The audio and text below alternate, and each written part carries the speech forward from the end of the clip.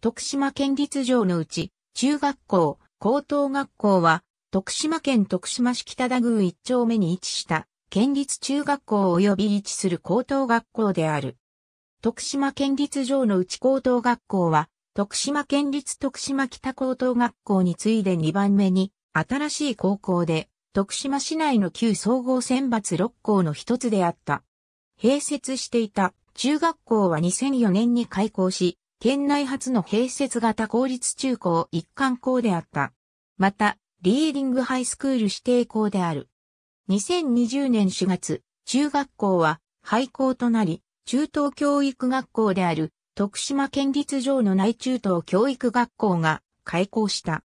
同時に高校は入学募集を廃止し、2023年4月に中等教育学校への完全移行により廃校予定である。1970年代当時、徳島市内の普通科高等学校は、上東、上南、上北、徳島市立の4校しかなく、いずれの高校も生徒数が飽和状態になりかけていた。さらに、第二次ベビーブームの世代が1980年代前半に高校生になることから学校の新設を求める意見が出るようになり、これを受けて普通科高校の設置が決定された。1978年、徳島市北田宮一丁目の日本千倍校舎跡地で、城の内高校の校舎建設が始まり、1980年度に開校したが、この時は現在南北に2つある校舎のうち南一棟しか完成していなかった。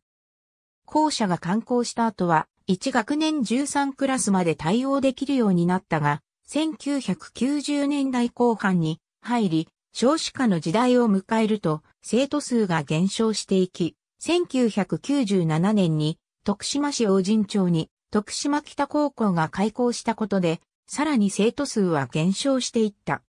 加えて、徳島市内の総合選抜制度廃止後、各高校の特色づくりが必要となった時に、徳島県内からは、市内の普通科高校の削減を検討する声が上がり、廃止候補に上がったのが城の内高校であった。その理由としては、所在地が中途半端である。校区内に中学校が存在しないため、入学生が一番少ないと予想される。長い歴史と伝統を持つ他校に比べ、歴史の浅い城の内高校の方が廃止しやすい。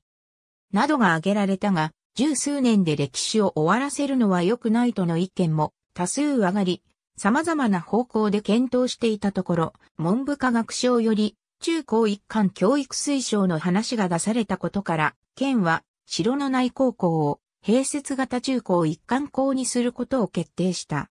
総合選抜制度廃止後の2004年度より中学校を開校することになり、生徒の募集数は高校240人、中学120人に決定された。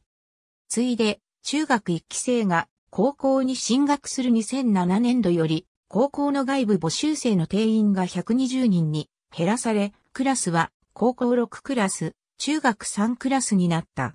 2004年度の中学生の入学競争率は約10倍、翌5年度は6倍であった。なおシンボルツリーは山桃。男子半袖、長袖シャツ、スラックス、女子半袖、長袖ブラウス、チェック柄スカート、男子紺色ブレザー、スラックス、ネクタイ、女子紺色ブレザー、ストライプ柄スカート、リボン、男子セーター、または冬服その他冬服に、同じ、女子ベスト、またはセーターその他冬服に、同じ中学校への入学競争率は高く、徳島県立富岡東中学校の開設に伴い少しは低下したものの、毎年約3から4倍の水準である。原則、中学校卒業者は併設の城の内高等学校へ進学することになっている以下は2020年度のもの。